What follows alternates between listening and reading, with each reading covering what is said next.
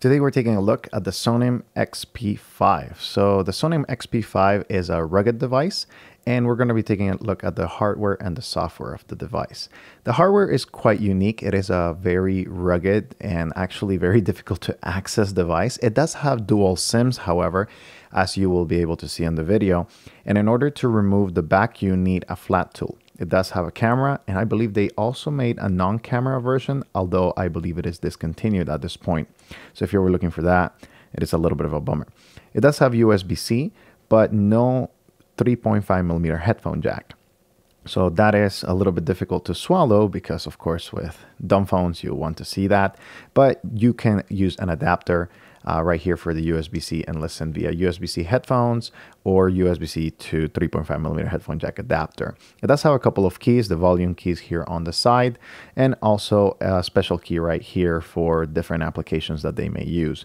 It can also be remapped uh, as an SOS key, I believe. We're going to take a look a little bit more in the software. It does work with Verizon. It does work with the different carriers. This one is the unlocked version that I bought from Amazon. This is Sonim Launcher that you see here and you'll be able to see that you have three pans. You have the missed events, you have the messages. If you go up, you go to contacts, down you go to camera, and you also have mobile hotspot, quick toggles, Wi-Fi, data, Bluetooth, things of that nature.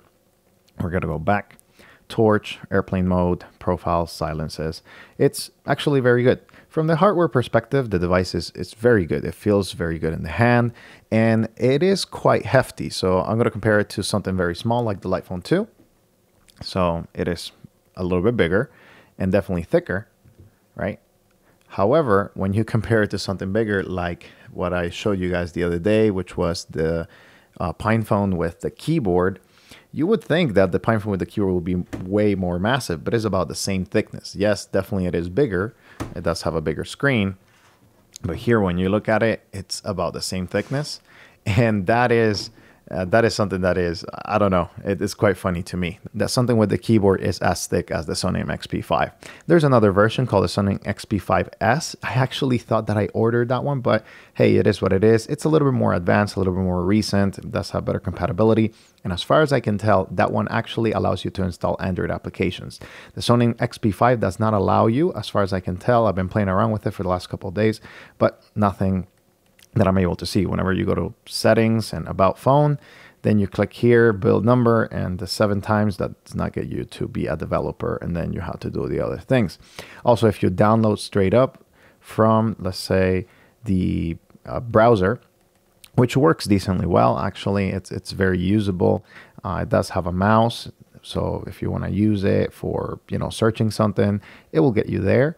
Uh, it's very fast, and it, it, since it's VoLTE, you're going to be able to use this device for the long term, and it has fast speeds. Of course, let's look at something like um, GDP. Sure. Uh, right there, I clicked the, the tool, and it just went back. But GDP, you're able to search around. It'll take you to Google, and then you will be able to navigate pretty easily. Again, it's not something that you're going to get addicted to because essentially it takes a, a, long time to, to go over and zoom in, zoom out. You know, you can click the buttons here and there, but again, it's not going to be something crazy to use.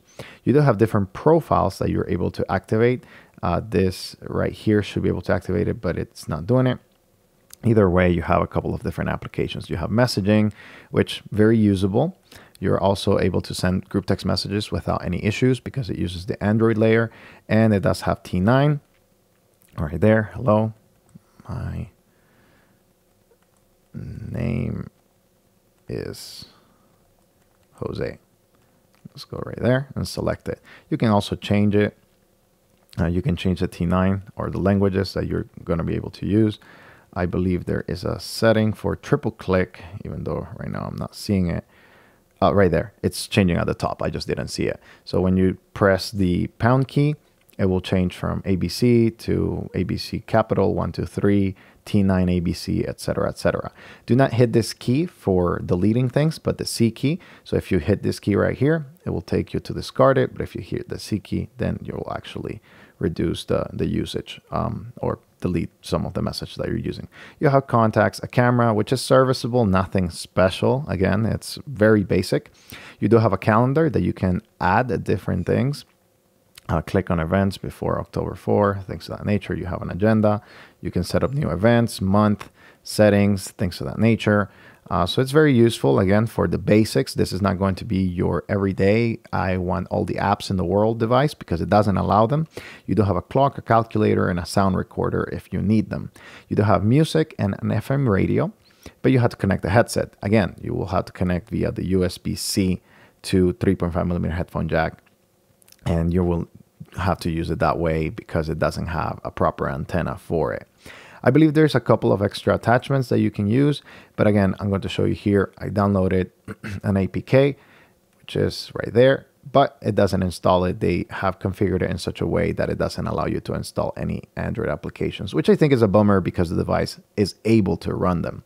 Uh, you do have the backup and restore, uh, which is going to be a method that I'm going to be testing in order to try to install applications in that way.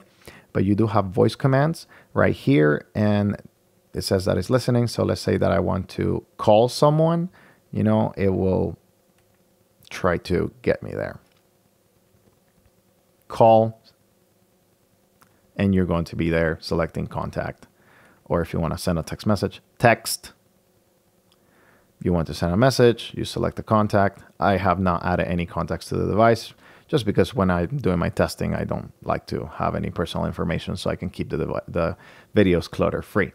But it, again, it works very well like any other device. And the backup and restore mode is something that I'm going to be testing to see if it allows to do some of the Android applications. If it does, I'm going to include something in this area. And if it does, I'm also be including a tutorial. But as of right now, I will consider the Sonim XP5 as a device to just think about calls, text messages that are very reliable, very crystal clear, and it's going to get there. It's VoLTE, so it works pretty much everywhere and also outside of the United States with limited compatibility, of course, and no hotspot because of the Verizon version doesn't allow hotspot if you change the SIM card from a non-Verizon SIM card. So it works decently well. It's a good device. I like it. So go get it if this is something that interests you and uh, if it doesn't have the Android compatibility and you need a couple of the extra apps, there's other devices like the AGM M7 that can help you out there. But thanks for watching. If you have any questions about this device, let me know, and I'll see you in the next one.